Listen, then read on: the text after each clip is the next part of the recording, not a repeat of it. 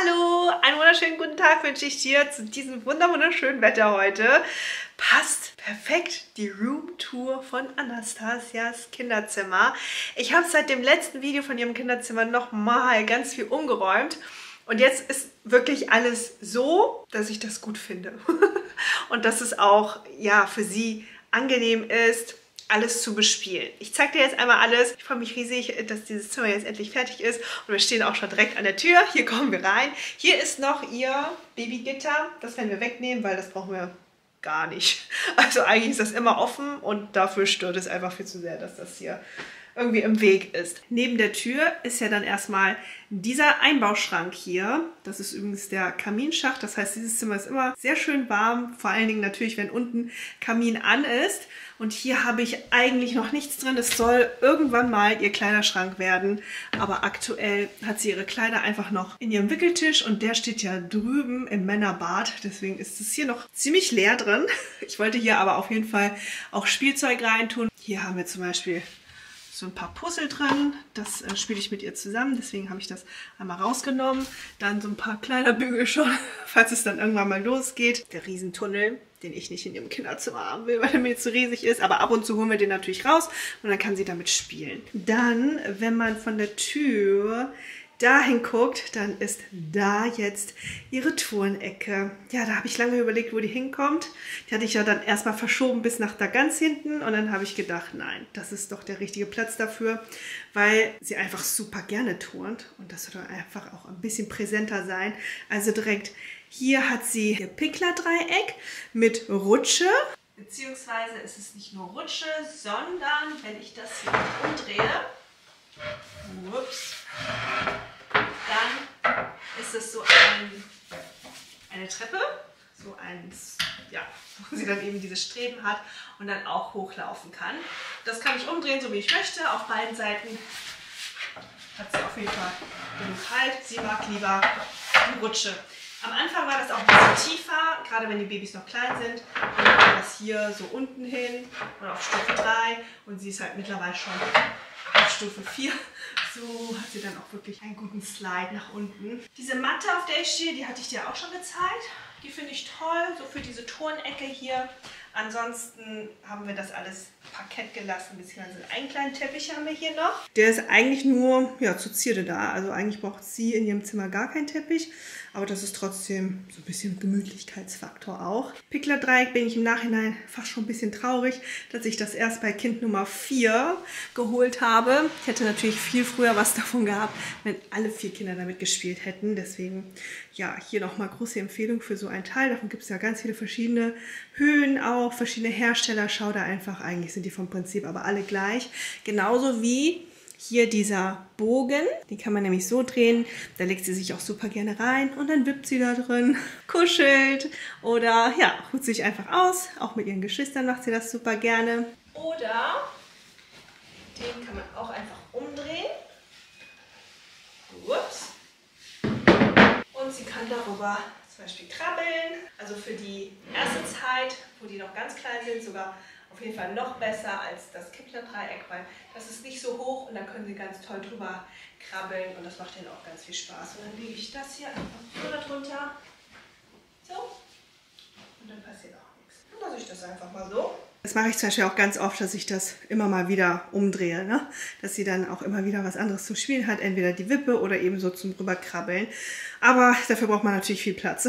Also vorher hatten wir die beiden Dinger im Wohnzimmer und das nimmt schon echt viel Platz weg. Wenn es bespielt wird, ist es okay. Wenn es nicht bespielt wird, dann steht es halt auch nur rum. Das große Fenster kann ich auch noch mal zeigen. Ne? Ist ja auch immer noch eine kleine Haustour. Wir sind ja gerade erst umgezogen.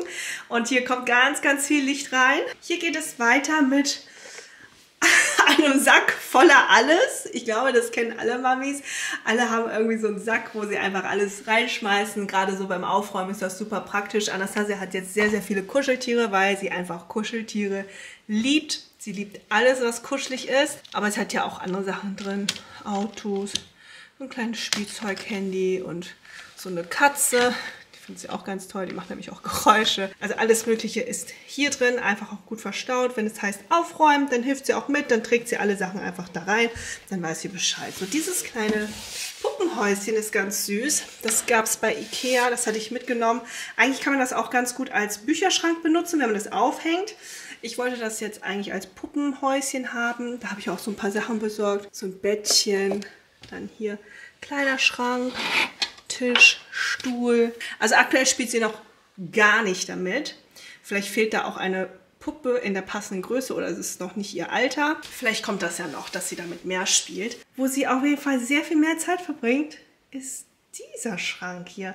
Vielleicht erinnerst du dich, der stand ja erstmal so aufrecht und jetzt habe ich ihn gekippt.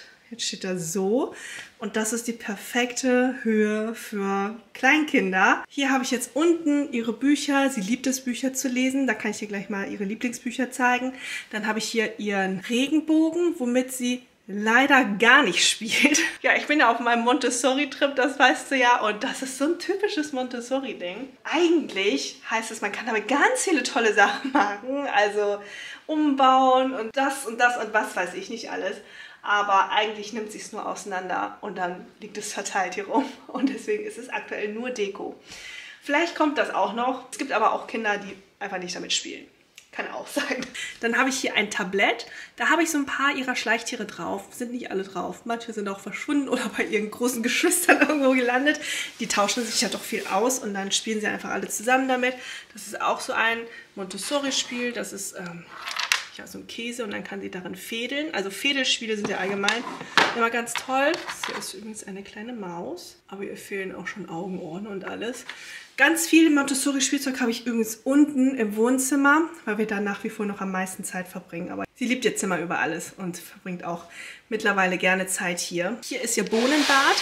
Also das habe ich nur exemplarisch hier. Normalerweise ist das in ihrem Schrank da drin. Sonst verteilt sie das nämlich hier überall. Aber ich wollte das einfach auch nochmal zeigen als Inspiration für andere Mamis. Und dann spielt sie ja damit, indem sie das Löffelchen nimmt und die Bohnen da rein tut. Oder eben auch die Aschenpuddel sortiert da dann die roten rein und da zum Beispiel die weißen. Das macht immer ganz viel Spaß. Oder einfach so umkippen und so. Das ist so das Alter, was das sehr, sehr gerne mag. Hier haben wir ihre Musikbox. Die ist schon super alt. Die ist noch von Clara Elisa. Und das sind ihre Figuren. Nicht alle, hier sind noch mehr. Aber es sind auch viele dabei, die nicht für ihr Alter sind. Sie hört aber sowieso am liebsten die, wo eben einfach nur Musik gespielt wird. Zum Beispiel hier ganz viele Party, Happy Birthday Songs. Der Hund macht ja auch irgendwie Musik. Genau, sowas macht sie dann eben da drauf und das findet sie ganz toll, dass dann da Musik kommt, wenn sie ihre Figuren da drauf tut. Dann haben wir hier ihren Bücherschrank mit ganz vielen Büchern. Ganz viele sind auch schon kaputt, auch schon sehr alte dabei, auch noch von Elisa und Johann Clara. Das hier mag sie sehr gerne, das kann ich dir einmal zeigen. Das ist so eins, wo sie diese Sachen üben kann, ne? zum Beispiel Reißverschluss auf, zumachen oder hier solche Knöpfe. Das hatte ich ja eigentlich auch gekauft fürs Auto. Mittlerweile macht sie das aber schon so flott und schnell, dass ja, sie das eigentlich nicht mehr so richtig zur Beschäftigung hat. Das hier ist das Schwerste. Das kriegt sie auch nach wie vor nicht gut auf und ich muss ehrlich sagen, ich kriege das auch gar nicht auf. Also der Verschluss ist wirklich heftig. Und als Belohnung gibt es manchmal hier drin zum Beispiel so ein Nashi. Das ist ganz, ganz süß, wenn sie dann versucht, das ganze Buch aufzumachen. Welches Buch sie auch über alles liebt, ist das hier. Das ist so dieses typische erste Bilder, erste Wörter. Also damit lernen die Kinder super schnell viele Wörter. Das kann ich allen empfehlen. Das gibt es auch in einer kleineren Version, die haben wir auch. Aber ihr allerliebstes Lieblingsbuch ist da hinten in der Ecke. Das zeige ich dir gleich. Jetzt machen wir nämlich erstmal weiter mit dieser Ecke hier. Jetzt wird es so ein bisschen holzig und bunt. Und zwar haben wir hier einmal diese Truhe. Da sind alle ihre Sachen für ihre Puppen drin. Sie ist ja auch eine Puppenmami. Sie liebt es, ihre Puppen mitzunehmen, zu pflegen, anzuziehen, auszuziehen und alles. Und deswegen hat sie hier alles drin, auch vom Bettchen, Anziehsachen, Decken etc. Puppen hat sie auch einige. Das ist jetzt zum Beispiel eine, aber sie hat auch viele andere, die sie sehr viel lieber mag. Diesen Buggy findet sie auch ganz gut, schiebt sie auch hin und her. Das ist auch so ein Tier, den kennst du bestimmt. Das ist eigentlich so eins mit Luft drin. Der hat jetzt nur einen Anzug an, deswegen sieht er ein bisschen anders aus. Aber den haben wir auch schon ewig lange. Ich glaube auch von Johann noch damals. Hier hinten haben wir nur noch ja, so ein Auto auch für die Püppi. Dann haben wir noch so einen Ball, damit spielen sie aber nicht so viel. Und so eine Schiebeente. Da ist ja eigentlich auch schon fast raus aus dem Alter. Dann kommen wir jetzt zu diesem Schmuckstück hier. Ich habe lange überlegt. Justus meinte, nein, das kaufen wir nicht, weil das auch so ein Riesenteil ist. Aber ich wollte es unbedingt haben für Anastasia. Gibt es auch in weiß, aber ich wollte das unbedingt haben in diesem wunderschönen warmen Holzton. Ich finde, das macht alles sehr viel wärmer. Da habe ich jetzt diese bunten Tücher dran gemacht, kann man natürlich auch wegmachen. Dieses Ding ist einfach so multifunktional. Also damit können die Kinder so viele Fantasien spielen lassen, egal ob sie es als Puppentheater zum Beispiel benutzen oder als Kaufmannsladen können sie sich das da schön schmücken oder eben als Höhle, als kleines Haus, irgendwas für ihre Puppen. Das macht Anastasia auch super gerne dass sie ihre Puppen hier drin schlafen legt. Also ich glaube, das ist so ein Ding, was noch ganz, ganz lange bespielt wird. Egal wofür auch immer. Ein Kaufmannsladen kommt ja sowieso immer sehr gut an. Dann haben wir hier das. Das habe ich hier ganz am Anfang, da war sie noch ganz klein, eigentlich machen lassen. Das ist auch ihr Name, Anastasia. Hier fehlt leider schon ein Teil. Das ist eigentlich so eine Tür. Fällt mir gerade nicht ein, wie das heißt. Vielleicht fällt es jemand ein und kann das in die Kommentare schreiben. Auf jeden Fall gibt es hier ganz viele Sachen, die sie machen kann. Guck mal, mal ich schaffe das. Reißverschluss, Uhrzeit, Zahlen. Hier gibt es noch einen Schuh, den man binden kann. Knöpfe, die man auf und zu machen kann. Schnallen. Hier ist sowas. Schalter. Ach, ein Motorikboard heißt das, glaube ich. Ne? Motorikboard, genau. Das finde ich ganz gut. Also damit spielt sie auch ab und zu. Ist jetzt nicht so, als würde sie sich den ganzen Tag immer damit beschäftigen. Aber ab und zu nimmt sie sich das immer noch und beschäftigt sich einfach damit. Dann hat sie hier diese Kugelbahn mit verschiedensten Kugeln haben wir da drauf. Mittlerweile auch so ein Flummi, passt auch von der Größe, ne? Ist ja auch ganz gut, dass Sie mal lernen, was passiert, wenn so ein schwerer Ball zum Beispiel da ist, anstatt so ein leichter Ball. Der rollt nämlich ein bisschen schneller. Ansonsten haben wir auch Kugeln nachgekauft. Das sind zum Beispiel diese Haber-Kugeln. Die passen auch perfekt hier auf die Kugelbahn. So mal als Tipp, falls du noch welche brauchst. Dann kommen wir jetzt zu meiner persönlichen Lieblingsecke schon fast. Das Spielsofa, das hatte ich dir letztes Mal auch schon gezeigt. Jetzt ist es wirklich so aufgebaut wie so ein Sofa. Ansonsten kann man es ja immer ja, bauen, wie man möchte. Dann können sie drauf klettern und turnen und springen. Aber so steht es eben da, wenn ich reinkomme und mich einfach da hinsetze und dann Anastasia holt mir ein Buch oder macht da Musik für uns. Und dann sitze ich hier super gerne und schaue ihr dabei zu, anstatt auf dem Boden zu sitzen, weil das habe ich früher immer gemacht bei meinen Kindern im Kinderzimmer. Diese Bilder hier kennst du bestimmt auch noch, die waren ja von einer lieben Zuschauerin gemalt so krass. Ich weiß nicht, wie lange sie uns schon verfolgt. Die Bilder sind auf jeden Fall von 2018. Ich habe das letztes Mal noch in der Insta-Story gezeigt und sie hat einfach mir direkt geantwortet und gesagt, ja, das sind auch meine Bilder. Also sie folgt uns tatsächlich immer noch. Ganz liebe Grüße an dich. Wunder, wunderschöne Bilder. Eins davon fehlt hier, glaube ich. Das ist die Maus. Ne? Die wollten wir woanders hinhängen. Aber ich finde das einfach so hübsch gemalt mit so viel Liebe. Richtig schön und ich finde, das passt immer perfekt ins Kinderzimmer. Hatte auch schon Clara in ihrem Kinderzimmer und jetzt ist es einfach bei Anastasia. Also es wird auf jeden Fall weiter vererbt. Und so sitze ich dann hier immer. Und dann holt Anastasia meistens dieses Buch. Das ist nämlich aktuell ihr allerliebstes Lieblingsbuch. Und damit habe ich wirklich nicht gerechnet, denn dieses Buch haben wir schon ewig lange. Das hatte Johann damals mal geschenkt bekommen. Und es hat ihn nicht interessiert. Dann kam Clara, es hat sie nicht interessiert. Dann kam Elisa, es hat sie nicht interessiert. Und ich war schon so, verschenken wir es jetzt einfach, weil das ist ja auch so ein Riesending, weißt du? Wo soll man das hinstellen? Und dann kommt Anastasia und sie liebt es. Und sie ist so ein Kind, womit ich niemals gerechnet hätte. Ich dachte immer, mit drei Kindern hätte ich schon alles gesehen, hätte ich schon alles mitgemacht. Aber dann kommt sie und macht so vieles ganz anders als meine anderen drei Kinder. Unter anderem eben auch dieses Buch zu lieben. Vielleicht kennst du ja solche Arten von Büchern. Das ist so ein XXL-Wimmelbuch, ein Suchbuch.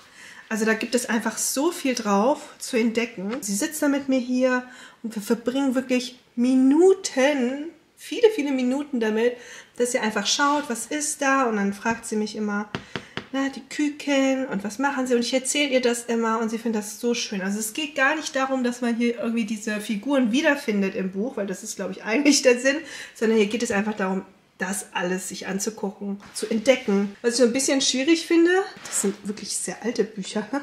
Das sind so manche Sachen, die kenne ich auch nicht mal und sind einfach, ja, wie soll man sagen, ein bisschen veraltet, aber ist trotzdem süß. Also jetzt hier zum Beispiel im Zoo gibt es ganz viel zu entdecken. Das Buch ist zu groß für den Bücherschrank da hinten, deswegen kommt es hier in die Ecke. Immer bereit für Sie. Wenn sie das wieder lesen möchte. Da sind auch noch so ein paar Sachen, die sie gerne spielt. Das ist eigentlich Adventskalender, die hatte ich dir auch, glaube ich, gezeigt schon. Und zwar hatten wir letztes Jahr den Adventskalender zum Streicheln, also Tiere drauf.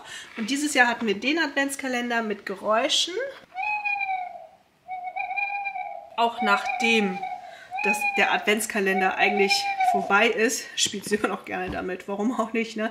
Da immer noch die Tiergeräusche drauf und dann drückt sie drauf und freut sich daran. Ist leider auch schon ein bisschen kaputt. So ist das bei kleinen Kindern. Die knibbeln gerne damit, aber trotzdem funktioniert es ja noch sehr gut. Das Schaukelpferdchen ist auch schon uralt.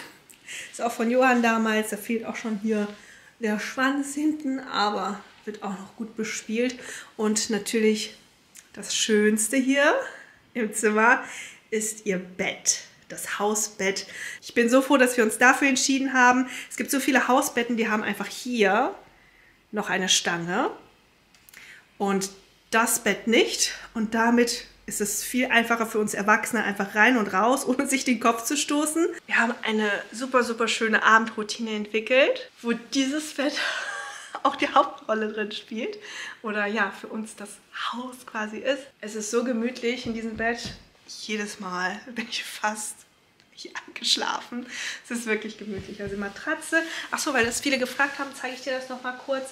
Und zwar ist das eine Matratze, die nicht auf dem Boden liegt, sondern mit einem Lattenrost noch bestückt ist. Das Teil liegt auch nicht auf dem Boden, sondern ist im Bett. Zwar nur ein paar Zentimeter, aber immerhin, weil das war uns wichtig. Wir würden auch nie wieder eine Matratze direkt auf dem Boden machen. Das funktioniert nicht lange gut. Dann fängt sie an, unten zu schimmeln. Und das wird hier nicht passieren. Das war mir super wichtig. Trotzdem war es mir auch sehr wichtig, dass das Bett ebenerdig ist, zumindest fast, so dass Anastasia nicht groß über etwas steigen muss, um in ihr Hausbett zu kommen, sondern dass ja fast eine Ebene ist. Und das ist ein Traum. Ein wirklich, wirklich schönes Bett. Ich bin sehr zufrieden damit. Manche haben ja nicht geglaubt, dass ich aus dieser riesigen Halle hier was Schönes zaubern könnte. Und ich habe auch am Anfang so gedacht, wie, wie kriegst du das hin, dass dieses riesige Zimmer trotzdem einladend ist, gemütlich ist und viel Freude bietet, so einem Kleinkind. Und ich habe es geschafft. Anastasia fühlt sich hier wohl. Wir fühlen uns hier wohl, wenn wir mit ihr hier Zeit verbringen. Es ist ein wunderschönes Zimmer geworden, wo ich auch gerne meine Kindheit drin verbracht hätte. Ja, ich hoffe, es hat dir gefallen. Die Roomtour Nummer 2 aus diesem Haus, nämlich in Anastasias Kinderzimmer. Ich würde sagen, wir sehen uns beim nächsten Mal wieder. Bis dann. Tschüss.